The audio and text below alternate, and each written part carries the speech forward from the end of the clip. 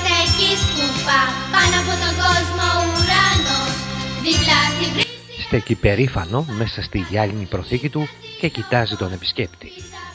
Έχει εμπνεύσει με την ιστορία του τη γνωστή πεζογράφο Αλκιζέη, η οποία μέσα από το μόνιμο βιβλίο του χάρισε την Αθανασία.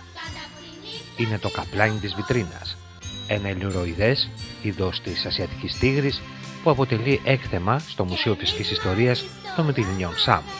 Στην αμμούδια και στο Το ζώο αναγκάστηκε τη δεκαετία του 1870 έως 1880 είτε από πλημμύρα του ποταμού με άντρου στις απέναντι μικρασιατικές ακτές είτε από πυρκαγιά να περάσει κολυμπώντας την Νεσάμο.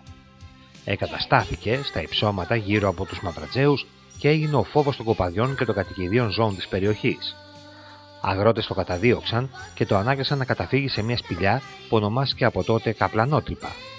Οι διώχτες, μη τολμώντας να μπουν μέσα στη σπηλιά, χτίσανε στο άνοιγμα τείχο με μεγάλες πέτρες. Το άφησαν κλεισμένο περίπου τρεις μήνες, προσδοκώντας να ψοφήσει από πείνα και δίψα. Αυτό όμως διατηρήθηκε ακμαίο, τρώγοντας υπόλοιπα παλιών του θυραμάτων που είχε αποθηκεύσει και πίνοντας το νερό που μαζεύονταν σε μια γούβα της σπηλιάς. Ύστερα από αρκετό διάστημα, περίεργοι να διαπιστώσουν αν είχε ψοφήσει, άνοιξαν από πάνω τρύπα, κρέμασαν ένα σκηνή δεμένο με πεύκο και κατέβηκε στη σπηλιά ο Γεράσιμος Γουλιαρμή. Εκεί το ζώο του επιτέθηκε και όταν άρχισε να καλεί σε βοήθεια, προσέτρεξε ο αδερφός του Νικόλαος, ο οποίος κατάφερε να το σκοτώσει. Ο Γεράσιμος Γλιαρμής όμως είχε στο μεταξύ πληγωθεί στο στήθος από τα νύχια του θηρίου και πέθανε από τα τραύματα λίγες ημέρες μετά. Το ζώο τα αρχικεύτηκε στη συνέχεια και αγοράστηκε από την οικογένεια Νικολαρεΐζη, η οποία το τοποθέτησε στο σαλόνι του σπιτιού της στη Σάμο, στη βιτρίνα που βρίσκεται μέχρι και σήμερα.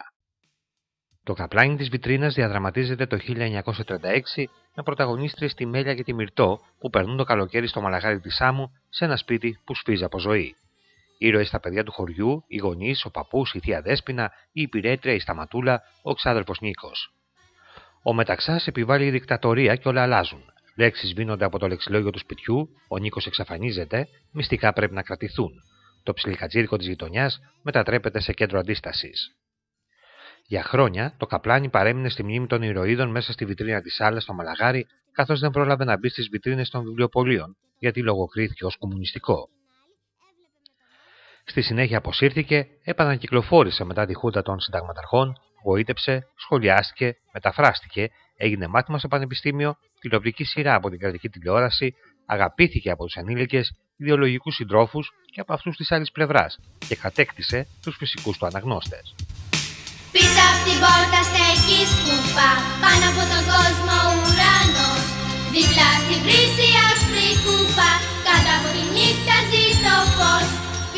Basketball.